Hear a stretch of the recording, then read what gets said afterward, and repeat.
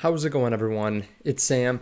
There are some companies that are completely screwed right now, in my opinion. They're losing so much money every single day now, and there's worse news on the horizon for them. I want to talk about that. Also, talk about the recent little pump in Bitcoin. Bitcoin was above $27,000 up to just a few minutes ago. If you don't mind, hit subscribe, turn that bell notification so you can see future videos just like this one. And let's get into it. So as you can see, crypto was up over the last seven days. We're up a decent amount, 6.4% for Bitcoin. The rest of the market looking green as well over the last seven days. Obviously, though, in the last hour, we have come down a little bit. Bitcoin was pushing up against about 27,500 earlier today. Now, here's the good news. We, it looks like, have flipped the previous resistance into support. You can see we bounced off of the $25,000 mark twice. We got rejected twice. And now we have bounced off of it and actually held it as support twice as well. Now, this is pretty bullish on a technical level. That being said, we still continue to see dominance, Bitcoin dominance move up with a series of higher lows.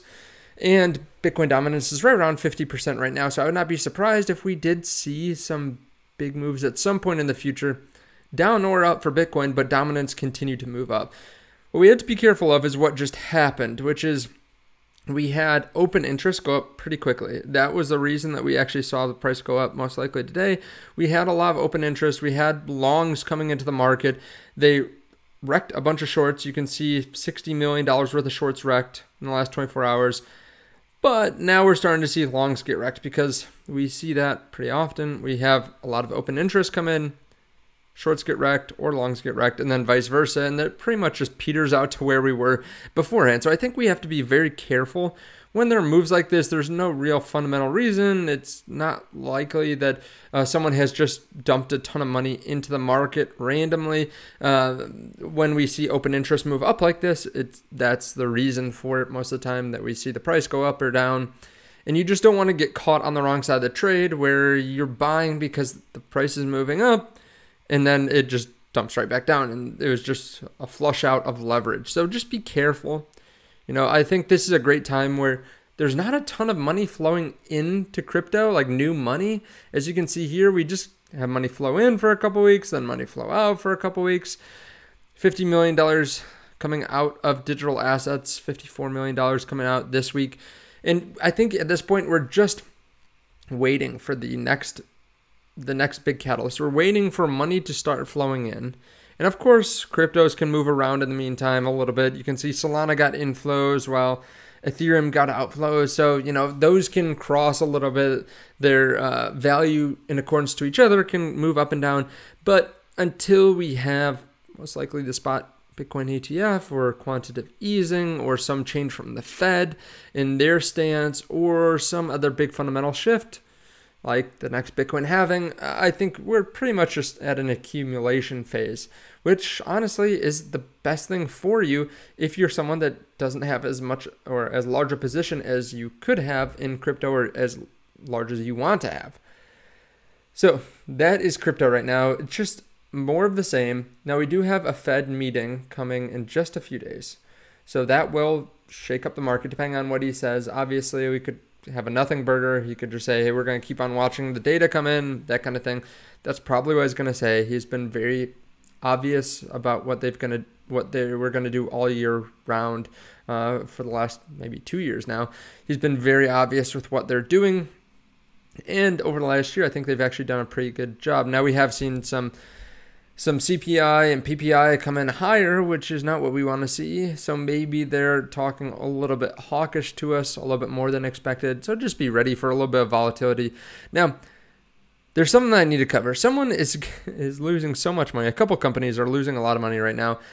We had news uh, that that uh, the UAW was going to go on strike. Right, 145,000 workers are striking Detroit Big Three right now, and they could lose an estimated $1.85 billion every week. Now it's been four days. So they've lost about a billion dollars. Billion dollar mistake, billion dollar problem, whatever you want to call it. Uh, now there is news that they might also go on strike in Canada. So it sounds like right now not all the workers are going on strike. It's not like every single branch is shut down. It's like a couple factories that they're going on strike at at a time. So maybe they're not losing 1.85 billion, but they're losing a lot of money.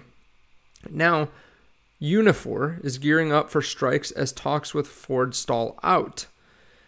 Now, this does affect crypto in a way because Tesla is investing in crypto, you know, all that kind of stuff. But really, just really interesting in a business sense. And if you're investing in stocks, this is important too.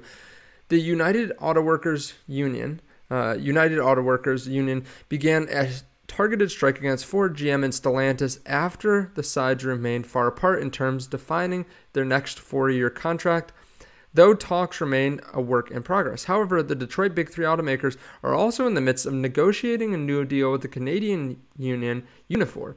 Talks that the sides have called complex as the future of automotive manufacturing plants in that country remains up in the air amid the ongoing EV transition. Unifor select Ford as its target company to negotiate with in the early process, but just last week rejected the law the automakers' first two offers, saying they did not come close to meeting our expectations. So they said that they are ready uh, for all scenarios, including strike action, and their deal is set to expire tonight at 11:59 p.m. They have 5,700 members, and about 98.9% of their voters said that they were in favor of an action of striking if it becomes necessary. So they have 10 hours left to be able to come up with this new deal. Otherwise, they're going to be bleeding from another cut. Now, I think this is really difficult because there, there are a lot of reasons that this is difficult. These automotive companies have not moved over to EVs fast enough. They have lower margins than Tesla because of it. They can't cut prices like Tesla. They can't pay their workers even like Tesla. The UAW boss says workers shouldn't accept lower wages, so greedy people like Elon Musk can build more rocket ships. He's going after Elon Musk when they actually pay higher salaries than the other car companies.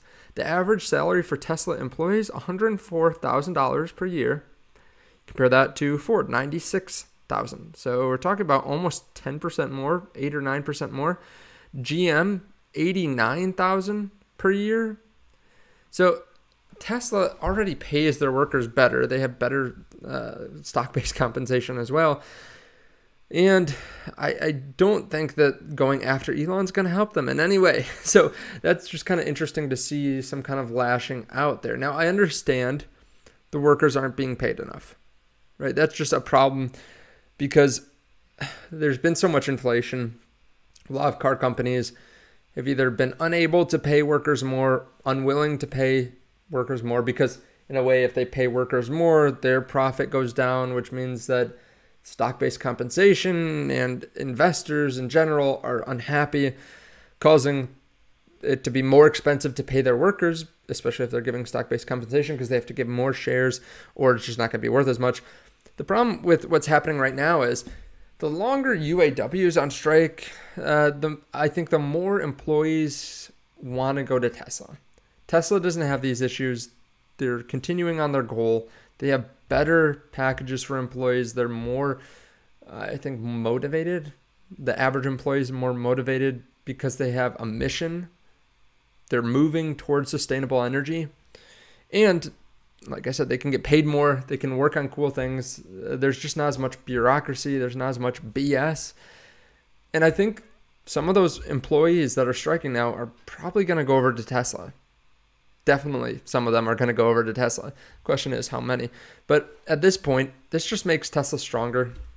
It's not something that you want to see because people are out of work or striking. Car companies are bleeding. Uh, some estimates say that you could lose $5 billion a week. The US economy could lose $5 billion a week through the trickle effect, through all these companies being on strike. Again, it's hard to estimate because we won't really know what this means for all these companies. There are certain factories being shut down. I don't know what they're doing behind the scenes to kind of try to stop the bleeding or to continue to make these factories work. But at this point, it's a tough situation. But Tesla comes out stronger. Tesla just got 140 million euro grant for charging stations over in Europe, which is great. I mean, they continue to dominate. And Tesla's down a little bit here today because of some Wall Street estimates going down for EPS. That's all short term. Of course, you care about what your companies are doing in the short term, right? But long term, nothing's really changed for Tesla. They continue to get stronger and stronger. The question is, when do they get their next S curve? Is it Dojo? Is it self driving? Uh, and when does that happen? How does energy continue to grow? When does the Fed start lowering rates? At that point, when the Fed starts lowering rates, it's going to be crazy for Tesla. They might have some huge numbers. Let me know your thoughts on this underneath the video, though. I know it's a little bit different part of the video than I typically film talking about companies, but I think it's good to continue to look at the entire market because money flows from one asset class to another. So we have to be on our toes, paying attention to what's happening all the way around. Thank you so much, and I'll see you in the next one. Bye.